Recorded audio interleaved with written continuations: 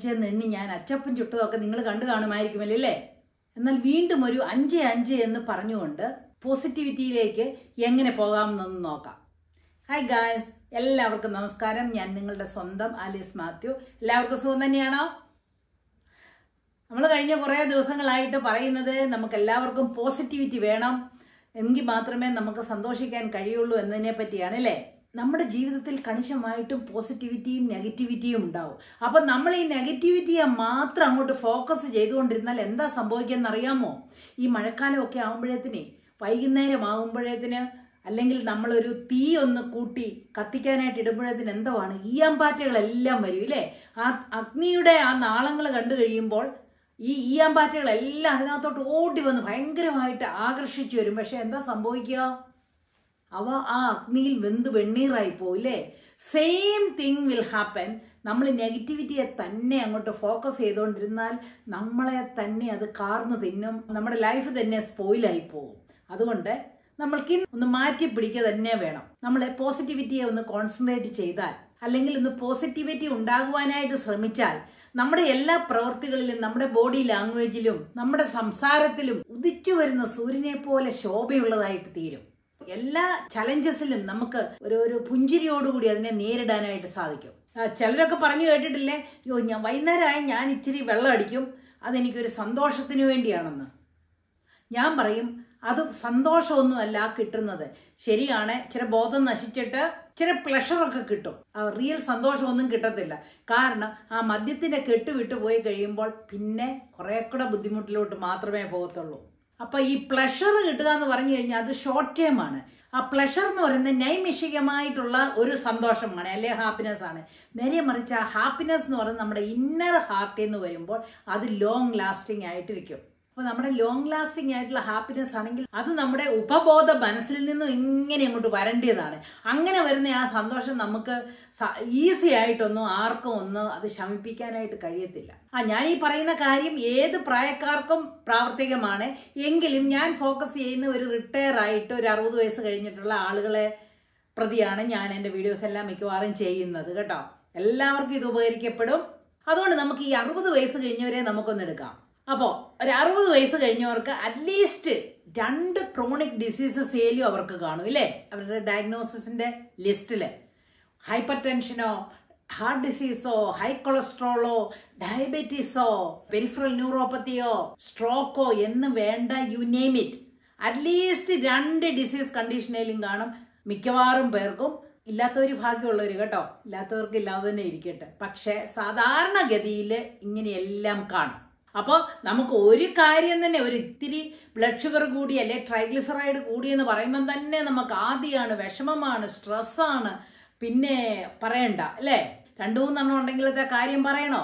അപ്പൊ ഇങ്ങനെ ക്രോണിക് ഡിസീസസിന്റെ കൂട്ടത്തിൽ ഇവർ ഒറ്റയായി പോയെങ്കിലോ ഹസ്ബൻഡോ വൈഫോ ആരെങ്കിലും ഒരാൾ ഇല്ലാതെ ആ ഒരാൾ മാത്രമേ ഉള്ളൂ എങ്കിലോ?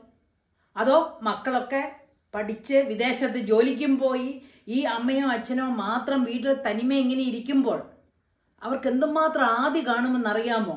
ഏതാ? ഒന്ന് പ്രായമായി അപ്പോഴൊന്ന് വീണെങ്കിൽ ആരെ വിളിക്കും? ഒന്ന് അബദ്ധവശാലൊന്ന് നിലത്തിരുന്നു പോയാൽ എങ്ങനെ എഴുന്നേക്കും അപ്പോഴ് ഇവർക്കെല്ലാം ഈ രോഗത്തിന്റെ ആധിയും അതിന്റെ കൂട്ടത്തിലെ കുറച്ച് സാമ്പത്തിക ബുദ്ധിമുട്ടും കൂടി ഉണ്ടെങ്കിൽ ഒന്നും പറയണോ? എന്തോ ഒരു ബുദ്ധിമുട്ടായിരിക്കും ഇല്ലേ?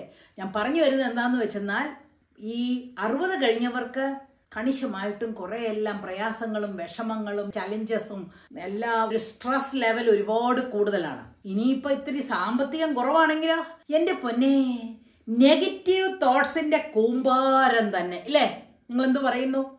അങ്ങനെ തോന്നിയിട്ടുണ്ടോ ആർക്കെങ്കിലും? ഇപ്പൊ ഞാൻ ഈ പറയുന്ന കാര്യങ്ങൾ അറ്റ്ലീസ്റ്റ് ഒരു ഒന്നോ രണ്ടോ കാര്യങ്ങളെ കുറിച്ചേലും നിങ്ങൾ പറയാറില്ലേ ഉണ്ട്.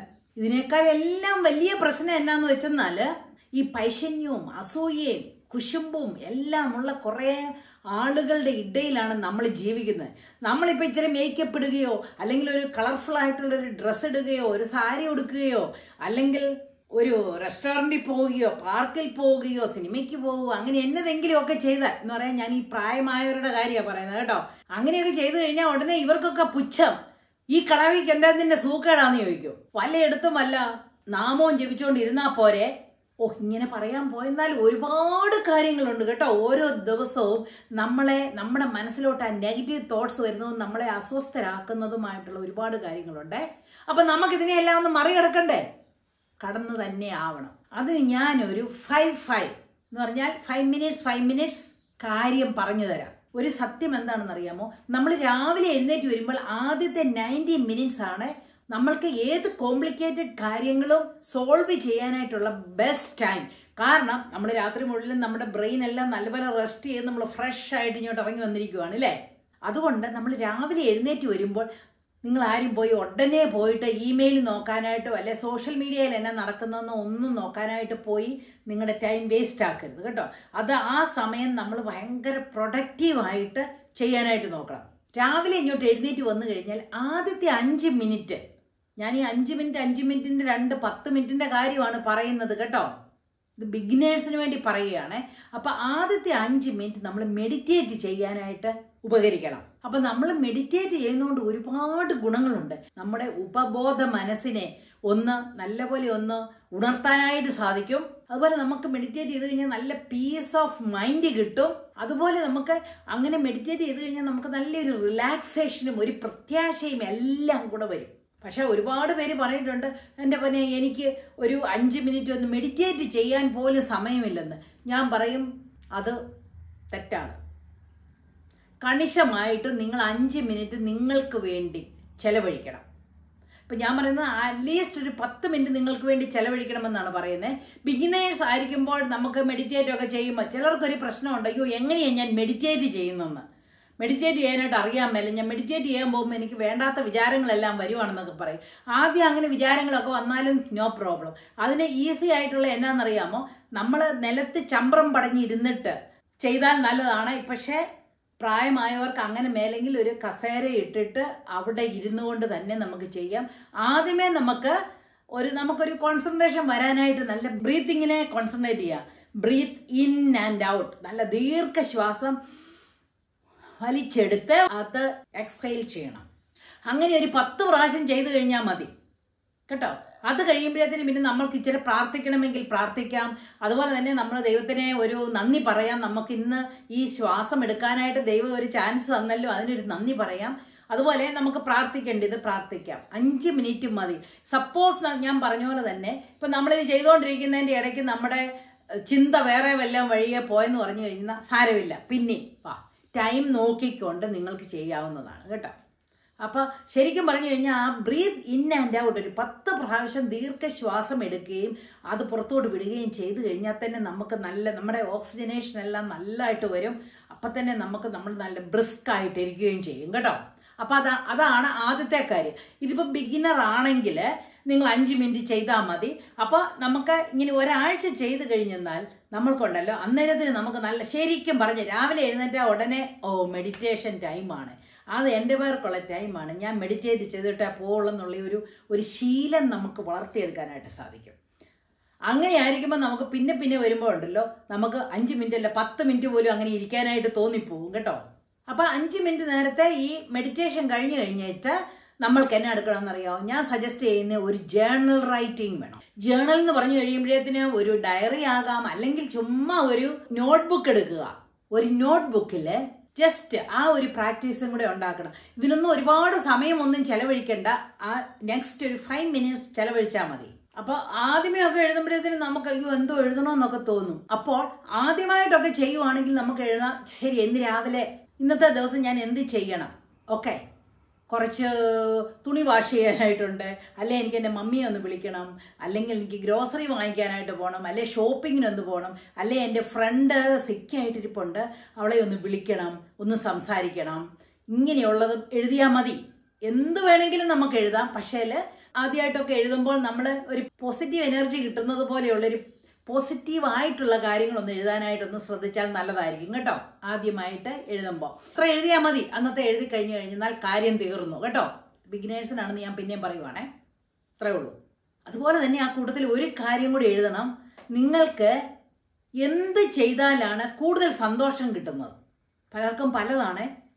നമുക്ക് ചിലപ്പോൾ ഒന്ന് ഷോപ്പിങ്ങിന് പോകുന്നതിന്റെ ആയിരിക്കും. അല്ലെ ഫ്രണ്ട്സുമായിട്ടൊന്ന് കറങ്ങാൻ പോകുന്നതായിരിക്കും. ഒന്ന് പള്ളിയിൽ പോകുന്നതായിരിക്കാം. അല്ലെങ്കിൽ പാർക്കിലൊന്ന് പോകുന്നതിന്റെ ആയിരിക്കാം. എന്താണെന്ന് വെച്ചാൽ നിങ്ങൾക്ക് നല്ല സന്തോഷം കിട്ടുന്ന ഒരു കാര്യം കൂടെ ഇന്ന് ചെയ്യാനായിട്ട് അന്നത്തെ ദിവസം ഒന്ന് എഴുതി തീർക്കണം. അത്രേ ഉള്ളൂ. അപ്പോൾ ഒരു കാര്യമുണ്ട്. ഇങ്ങനെ ഈ ജേർണലിങ് ചെയ്യുമ്പോൾ നമുക്ക് എന്ത് കാര്യം എഴുതാം? നമുക്ക് ചിലപ്പം ഗോൾസ് ഉണ്ട്. നമ്മുടെ ബക്കറ്റ് ലിസ്റ്റ് എന്നും പറഞ്ഞുകൊണ്ട് എഴുതാവുന്നത് പോലും എഴുതാം. അപ്പോൾ നമ്മളിങ്ങനെ ഇങ്ങനെ ജേർണലിങ് ചെയ്ത് കഴിഞ്ഞാൽ അതിന് ഡബിൾ ചാൻസ് ആണ് അത് അക്കംപ്ലിഷ് ചെയ്യാനായിട്ട്. നമ്മൾ അതിനായിട്ട് വർക്ക് ചെയ്യും. അങ്ങനെയാകുമ്പോൾ നമുക്കത് നടപ്പാക്കാനായിട്ട് പറ്റും. അപ്പോൾ അങ്ങനെ രണ്ടും എഴുതി കഴിഞ്ഞാൽ അത് കഴിഞ്ഞ് കഴിഞ്ഞാൽ നിങ്ങൾക്ക് ഇഷ്ടമുള്ള കാര്യങ്ങളിലേക്ക് നിങ്ങൾക്ക് പോകാം.